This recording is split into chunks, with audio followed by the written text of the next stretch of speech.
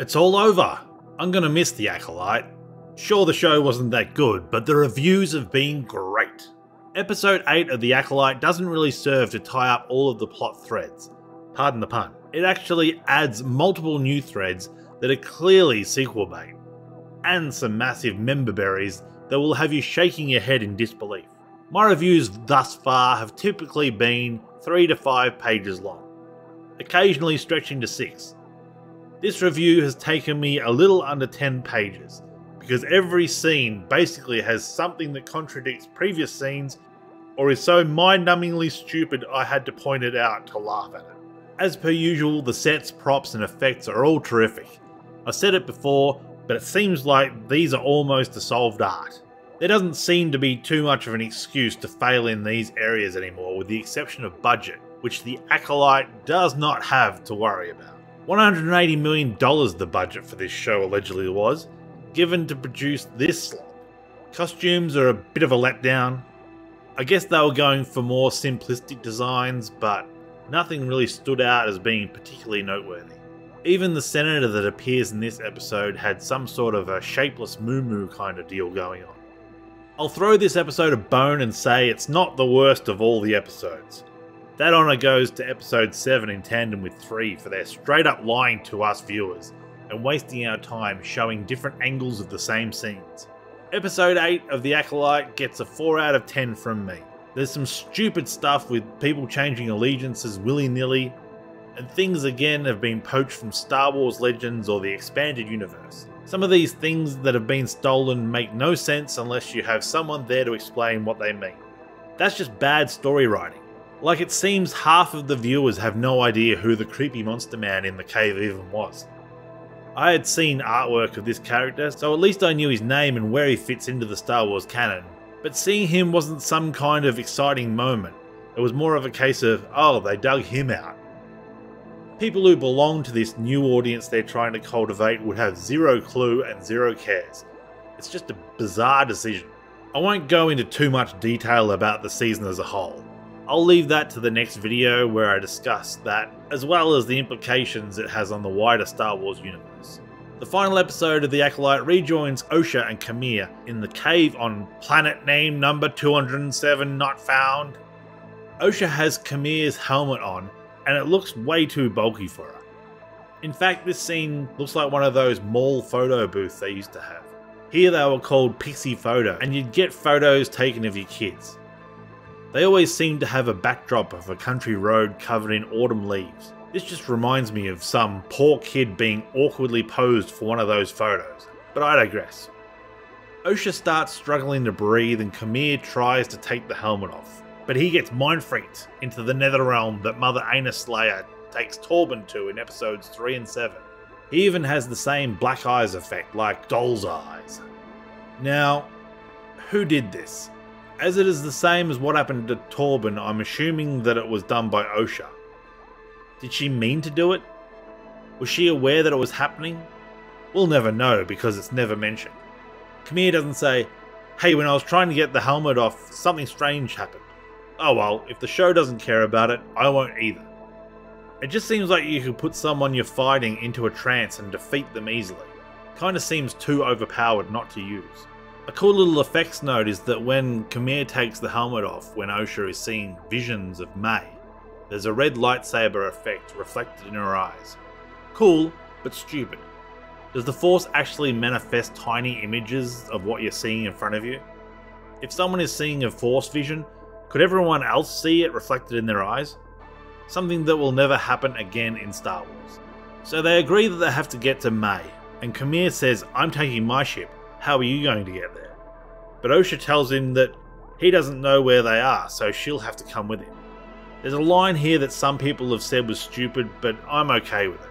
Qimir says that they'll go together and see who gets to her first. Their issue is that if they're both taking the same ship, they'll both arrive at the same time. But I can see it as meaning who will convince her to join them, get to in the sense of how do I reach these kids? Isn't about arriving at their location. It's about coming to an understanding. Anyway, enough about that. Sol has taken Mae to Brendok. He has alerted Vernestra of his location so he can prove that the planet has a vergence. So the girls aren't the vergence, they are the product of the vergence. Is the vergence the gaping hole in the ground that the witches were worshipping? If so, why is it not shown at all in this episode? He's talking to Mae as if she would even know who Master Vernestra is. Unless Qimir told her about her? Mae was assumed dead until a few days ago, so she's never been introduced to Vernestra. Unless Vernestra is so well known throughout the galaxy, like Star Wars' version of Donald Trump. And just like I said in episode 6 of The Acolyte two weeks ago, why has he let her keep Pip? It's not even her robot, it's her sister's. Clearly, she was going to use it to escape her cuffs. This is the kind of writing that annoys me, where they have an idea for someone to escape, but it requires normally competent people to act like complete buffoons. Once again, Sol has to bury the lead and get caught up in the slanging match instead of telling Mae what actually happened. Your mum turned into some spooky ghost type creature and started dissolving you in front of my eyes. I'm a Jedi, I'm trained to draw my saber at the slightest threat. Why did I cover it up? Well, you see, my boss, this other woman, she told me I had to keep it a secret because she thought your sister had already lost her entire family and way of life. She needed some support right now, rather than being confused about what happened. What was I supposed to tell her? That her mother was a monster? Why did we blame you? You were brainwashed by Mother Koril to trap everyone inside the mine and set the fire to the building. I'm sorry, what did you think would happen? You're an adult now. You can shoulder some of the blame. Let's not forget that you've been killing Jedi, as well as putting innocent civilians' lives at stake to get your revenge. Don't you remember that bit on the bridge where I tried to save you both? Remember how I held the bridge up instead of holding up the very light children? Remember when you told us that you were being sacrificed at the Ascension ceremony? Yeah, that was you, Mae. So Sol tries to tell Mae that they're not sisters, they're the same person. But of course, he gets right up close to her while she's picking her lock so she can zap him with the new and improved pip that can read your thoughts and change its function based on what you're thinking. What was the point of them being the same person? Is that there to explain why they can't be distinguished by Jedi mind tricks? Even though one of them has a big white tattoo on her forehead, I don't think the tattoo came into play once throughout the entire season. We mainly knew who they were based off what they were wearing or where they were. Maybe we also knew based on the music changing or the actor giving shifty looks when playing Mae. But the tattoo was not ever a giveaway. In fact, when Mae was with Qimir, her hair was always parting to reveal the tattoo all the time. But whenever she was with Sol, her hair always strategically covered their forehead like a piece of seaweed covering a mermaid's boobs. Oh my god, I'd forgotten about Bazil. That little turd. I hate him so much. There's an escape ship? Why wasn't this ever mentioned before? How convenient. So other ships have escape pods. This one has an escape ship? It would have been better if this was some sort of scouting vessel to allow the occupants to split up. Sol never once uses the Force in his chase. He could have stopped the door closing or stopped Mae from running only when it's convenient. Did they just steal a line from Han Solo and Hoth? Is Sol's Tauntaun going to freeze before he reaches the first marker? The line doesn't even make sense here. Han Solo is going to die if he leaves the base. Mae's just escaping Sol's perfectly functional ship. How does she even get into that seat without opening the canopy? Wait, this ship has a docking bay the size of a basketball court. Why couldn't Torbin have taken the ship back to Coruscant on the weekends? This seems to be where a lot of the budget went. These particle effects look great. But Mae's voice is so low in the mix, I need subtitles here. And Amandla Stenberg's acting is so subdued. You're on the run, at least act like it's exciting. Is Sol trying to destroy Mae or apprehend her? Is that a gun or a tractor beam? We'll never know. Let's assume it's a gun because the Jedi are the Star Wars analog for cops, and they're all bastards, remember? Bloody Bazil. Two episodes ago, Bazil attacked Mae because he knew she wasn't Osha. Now he's defending her by sabotaging the ship. Well, I hope you're happy, Bazil, because you cut Sol's brakes and he knocked Mae into a spin, and now she's spinning out of control. You probably killed her. Mae tells Pip to brace yourself. Lady, he doesn't have arms or any kind of limbs. This is as bad as a Sol telling that eyelidless Padawan to close his eyes in episode 1. That is seriously a 10 second flight time from Brendok's rings to touchdown. This planet must have some serious gravity. We'll just put it down to the vergence. Oh, and Mae's ship skips across the surface of the planet like a skimming stone, leaving her unmarked. We'll put that down to the vergence too. Plus, they made ships better in the old days. Surviving a free fall from orbit was just how they did things back a hundred years ago. Another happy landing. Back on Coruscant, Master Vernestra has to deal with more toxic masculinity from Mog. The way they play this guy in this scene makes it seem like he has some sort of ulterior motive and is trying to undermine Vernestra. But she continues to seek him out for assistance. Talk about stealing the show. This senator is played brilliantly, and is probably my third favourite performance in the entire season behind Qimir and Sol. Talk about gravitas. Who's going to police the police is his basic sentiment. If you abolish the Jedi, these people are still going to be force sensitive. They just won't have training in how to use it. And the way lightsabers are just left lying around the place, it's not exactly difficult to come across one. The Sith managed to get their hands on them. Pretty brave of the producers to mock May the Force be with you, considering it's one of the most recognisable quotes in the franchise. There's a day of the year named after it after all. A wild schnoodler appears, I guess that means we're back on unknown planet. Wait, the tide goes out that far? That walkway was underwater, now it's 10 feet above sea level. Where did Osha get this cute little dark grey number with the hood? Did Qimir just have it lying around, or is it one of Mae's outfits? I'm pretty sure Mae didn't live there because Mae had no idea that Qimir was even the stranger. What's with the stilted dialogue in this show? Sentences just cut off mid um, sentence? Would you even consider it? There should be an it on the end. What deal? You asked her if she wanted to be trained and she said no. Now that you're saying that there was a deal? That's an offer, not a deal. Is this written by AI? Uh oh, there's a spooky monster man in their cave. What a stupid reveal. No one knows who this is and no one cares.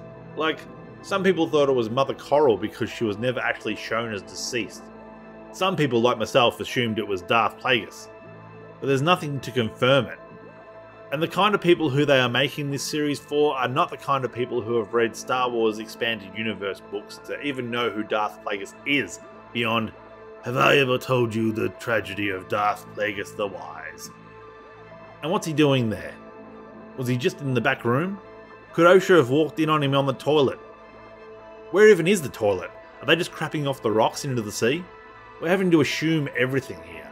I assume he's been training Qimir since he left the Jedi Academy. Now what? Where does the giant foot of Sol's ship go when it's in flight? It would take up all of the cabin space. Fucking Bazil, man. Go on, have a good sniff.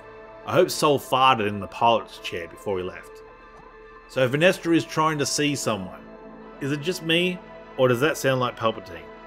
Or is it just Yoda's personal assistant, you know, so they can say it wasn't just a member berry? But it was actually set up in a previous scene. And that phone thing she's talking into is trying so hard to be the thing Han Solo talks to on the detention level.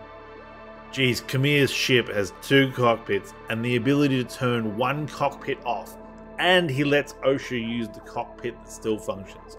What a gentleman. But seriously, what did she think he was going to do? Just because he's Asian doesn't mean he's a bad driver, Osha. Gotta give credit to Sol's actor.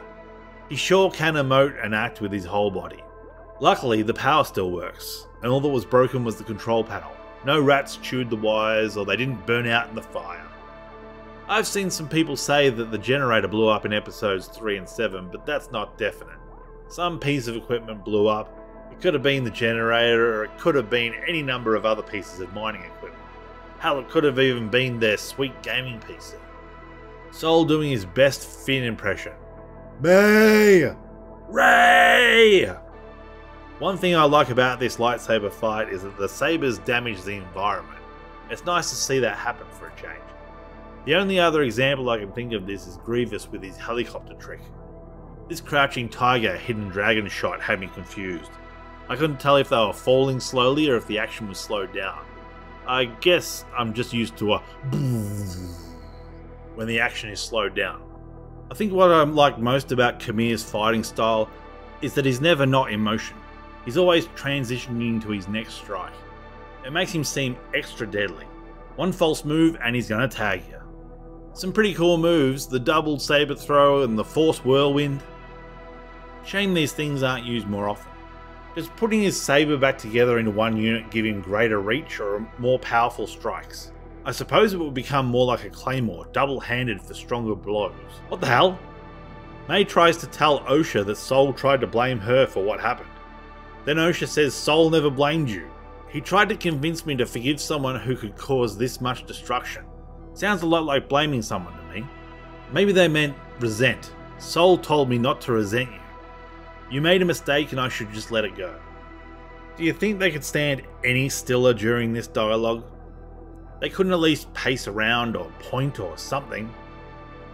Wait, so Mae just told Osha that Sol killed their mother, and that he's lied to her, and now they're fighting. Shouldn't she be assessing this new information? So Mae looks at Pip, and they just stand there while Pip spurts all over her face. Oh dear God, no. Not the discordant chanting. Do dee da. Remember, kids, staying in key and rhythm are tools of the patriarchy. Interesting cut on action there as the crossed kicks turn into crossed sabers. Someone went to film school. That sequence of Qimir trying to pull Sol's blade into his Cortosis helmet was a bit silly. Qimir could have just booped Sol on the head with his blade, and Sol could have angled his blade toward Qimir's shoulder. But I guess we got what everyone's been talking about for ages. Why not turn off your blade in a clinch, just like Matthew McCleskey said? And then Sol cuts Qimir's saber in half with a beautiful cover drive. That's gone for four runs. Don't even bother running for that one, Solly. Why does Qimir throw his saber away? He still has his little Tanto style blade attached to the hilt. Now Sol has him at the point of his blade. Oh no! If only he had some kind of anti-lightsaber armor, he could disable his lightsaber. Say, what's that in your hand, Qimir? And did he lose his arm bracer? But luckily Mae arrives after about 15 minutes and steals Sol's lightsaber right out of his hand. I'll put that down to him being exhausted from fighting for his life. What I can't excuse is the fact that my eye is constantly drawn to Mae's thumb on that saber button and then the contrast to the reverse angle. Come on! Wow, if there's one cliche in Star Wars, it's lightsabers being dropped. This is the first time I've seen one take damage from a fall. Why doesn't Sol just force pull his saber to him? Test it out, he's got nothing to lose. Ah, so Palpatine was paraphrasing Qimir when he said, Strike me down with all of your hatred, and your journey towards the dark side will be complete. Did they mess up the editing? Shouldn't he have told her to strike him down while she had the saber? And then had her throw it and say no? What is she going to strike him down with? Her fists? Bro, Sol kung fu'd you on Khofar with ease when you disarmed him. Why isn't Sol just leaving now that things have gone pear-shaped? Go get the rest of the Jedi. Wait, so other people have been created by the Force before Mae and Osha? So this kind of thing happens from time to time? I'm not sure how Osha can hear him whispering that he did kill their mother from all the way over there. Poor old soul, acting his heart out, emoting all over the place. What a contrast. Bro, mention their mum turning into a spooky ghost and disintegrating Mae after she said that she had to be sacrificed during the Ascension. Stop talking is right. It's the theme of this entire show. I need to tell you something very important, but first, let me preface with this story about the time I caught the ferry over to Shelbyville. He admits it. He was just about to say I did everything because I love killing little girls' mums and taking them away to be trained as Jedi because I think it's funny. What an animal. Uh oh, the exposed kyber crystals pierced Osha's skin and is causing her blood to get on it, turning it red.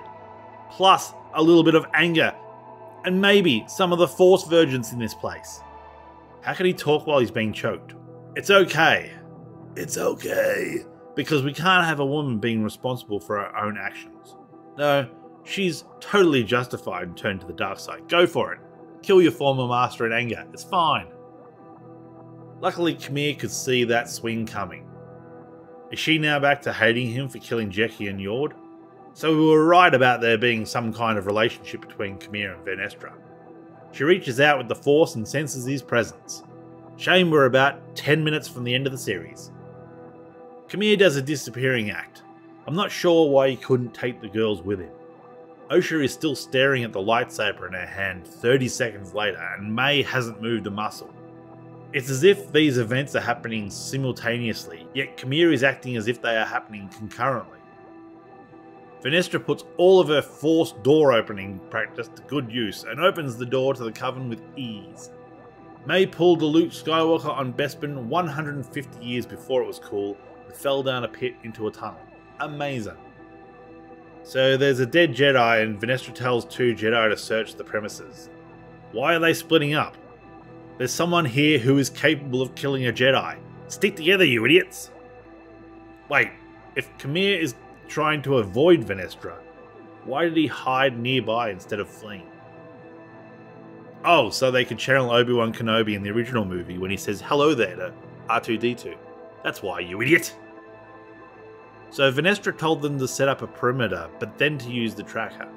I think they confused perimeter with search party. If it was a perimeter, they would be forming a circle, not all bunched up, slowly wandering around behind Bazil. So Mae admits to starting the fire, even though Ocean knew she started it, and it's a huge revelation. Sol admitting he killed your mother was less shocking than this. Wait, so now they're claiming that the Jedi killed the witches because they were too powerful? Where did that come from? So 20 minutes ago, these women were trying to kill each other, and now one's willing to have her brain erased to help the other become a Sith Lord.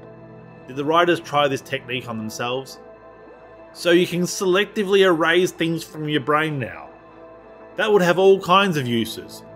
At least make it a 30 minute ritual during a full moon so there's some kind of restriction on it, or this will be one of the most powerful Force powers ever. I will find you. You won't have any idea who I am when you see me, but I'll find you.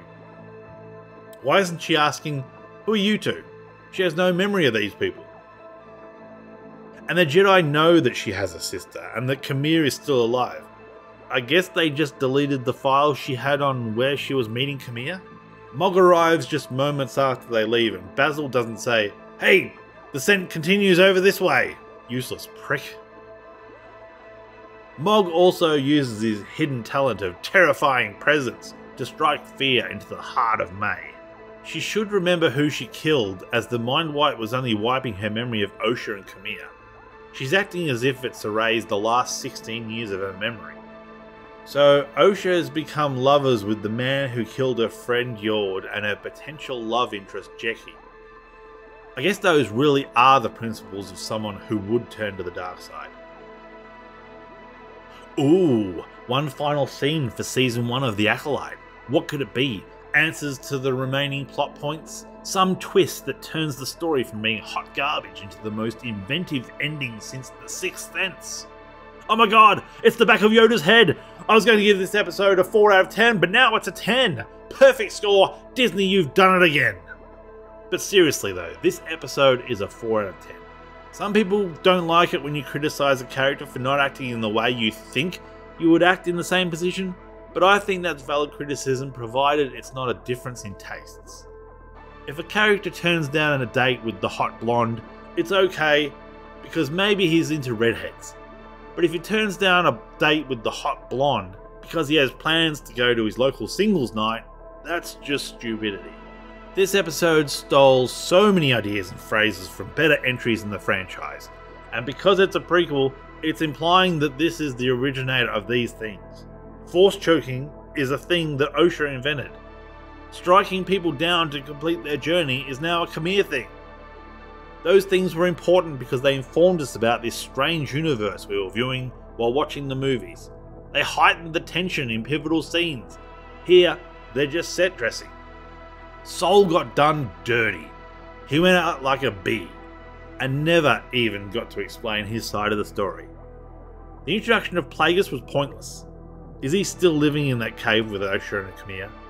And to top it all off, we had the reveal in the very last shot of Yoda. So now he's implicated in this whole kerfuffle. Not impressed, Disney. You can do better, especially at $180 million. I'll have a season review out in the next week with my thoughts on the overall story and the future for Disney Star Wars. it's not looking good. Thanks for watching. If you like what you saw, please consider subscribing. I release reviews occasionally when time allows, and a thumbs up would be a big motivator for further reviews. If you didn't like it, feel free to leave a thumbs down and let me know how I can improve in the comments below. Anyway, I'm Micksy, thanks for your time, and have a good one.